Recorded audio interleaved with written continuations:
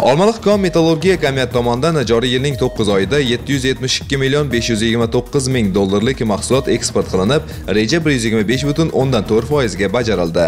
Jumladan asosiy ishlab chiqarish mahsuloti bo'lgan mis eksportida reja 112.7 foizga ado etilgan holda 60 ming 64 tonna mis mahsulotlari xorijga jo'natilgan. Shuningdek, 54 ming 887 tonna mis katida eksport qilinib, reja 122.8 foizga bajarilgan. Mis kuporosi eksportida 7248 sakkiz tonnalik natija qayd etilib, reja 128.7 foizga yetkazilgan. Rux mahsulotlari eksportida 9 oylik yakunlari bo'yicha hamon yuqori natija saqlanib qolingan. Bu yo'nalishda reja 129.6 foizga bajarilib, 46661 tonna ushbu mahsulot importyorlarga yuborilgan.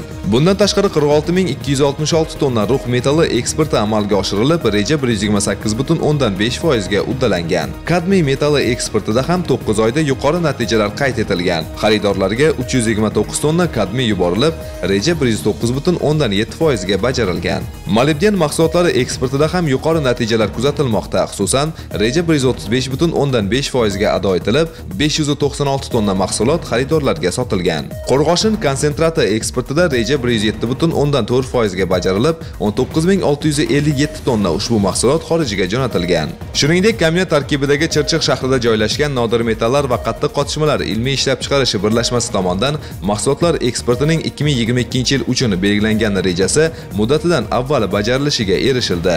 Birlashma mehnat jamoasi tomonidan 24.64 million dollarlik mahsulotlar eksport qilinib, reja 311.1 foizga bajarilganini alohida ta'kidlash joiz. Ma'lumot uchun, Olmaliq kon metallurgiya komiyati mahsulotlari asosan Turkiya, Rossiya Federatsiyasi, Belarus, Qozog'iston, Bolgariya, Ozarbayjon, Qirg'iziston, Ukraina, Polsha, Tojikiston, Indoneziya, Niderlandiya, Xitoy, Turkmaniston, Afg'oniston kabi davlatlarga eksport qilinadi. Joriy yilda kombinat mahsulotlari eksporti geografiyasi yanada kengaydi. Jumladan, yangi bozorlarga Surinam, Kineya, Avstraliya, Litva, Gruziya, Portugaliya, Kanada, Avstriya, Ispaniya, Finlandiya, Marokash va Singapur kabi davlatlarga ham mahsulotlar eksport qilinmoqda. Ushbu davlatlar asosan mis mahsulotlarini xarid qilishmoqda.